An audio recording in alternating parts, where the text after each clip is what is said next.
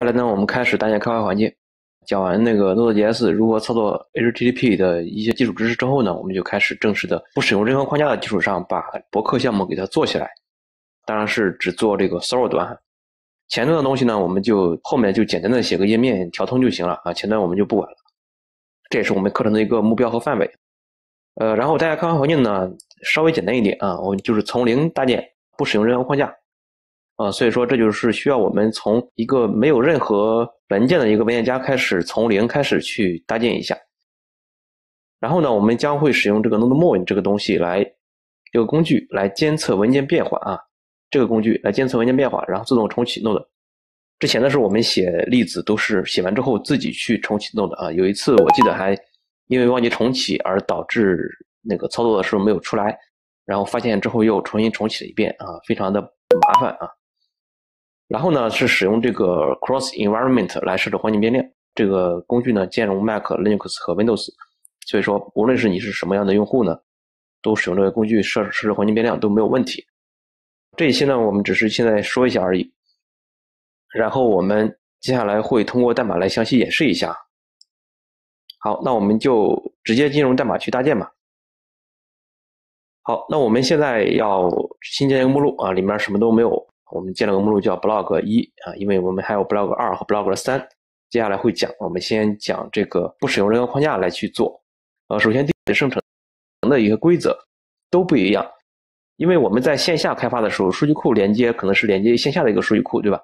到了线上之后呢，上线之后呢，我们的数据库的连接可能是要要连接线上的一个正式的一个数据库。那数据库的配置不一样，通过什么修改配置呢？我们就通过监测这个东西的变化来修改配置。包括 Redis 也是一样的，这个我们后面都会讲。包括那个日志的记录也是一样的。比如说线下环境，我们的日志可以直接打印在控制台中啊，有什么日志你直接从这打印出来。但是线上环境，我们的日志需要记录在文件中，这个变化我们也需要通过一个地方去标示。那我们就通过这个东西去标示啊。如果是 DEV，我们就直接打印在控制台中；如果是 Production，那我们就把它写到写到文件中。这样的话，不同的环境啊，不同的操作就分开了。但是至于具体说怎么去用这个东西，以及怎么根据这个东西做一些数据库啊、Redis 还有那些什么日志的一些操作，我们后面再会讲啊。我们前面这是先做一个铺垫，把这个功能啊、这个基本的用法先把它说出来。OK，那第三个问题呢，就是我们要最后说一下，为什么我们要把这个三 W 点 JS 这个东西和这个 APP 点 JS 给它拆分开？这个目的呢，就是为了什么呢？就是为了做一个。抽离就是不同的事情做一个抽离，因为 A P P 点 G S 里面呢，它主要是为了我们的这个业务提供服务的一些业务代码来写的。我们接下来要做很多的配置，比如这个地方我们要做一些哦，我们已经做了一个设置返回格式的配置，对吧？我们接下来可能还要做更多的配置，比如说获取 cookie 啊，获取那个 post data 啊，然后解析 post data 啊，然后解析 URL 啊，解析 query 啊等等这些。这些都是和基本的 server 没有关系的，它是一些项目底层的一些业务代码，它终归还是一些业务代码。但是 3W 点 JS 里面呢，它全是和这个 server 的技术有关系的。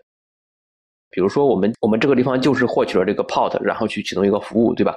这一块呢是一个比较基本的功能，然后这一块呢是这个基本功能基础上的一个 callback 的回调而已。所以说，我们把这两个就拆分开。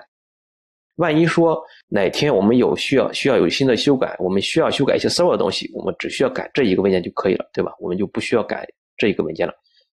这也是说，在开发系统的时候做设计的时候，要尽量的去把不同的功能、不同的场景给它拆分开，然后它们之间去相互引用。这也是 Node.js 也好，JS 也好的这个模块化的一个真正的落地使用的一种场景。好，这一节的那个开发环境我们也搭建完了。搭建完之后呢，我们下一节就正式的开始通过这个环境的基础上，我们就开始去写路由啊，我们去写 API。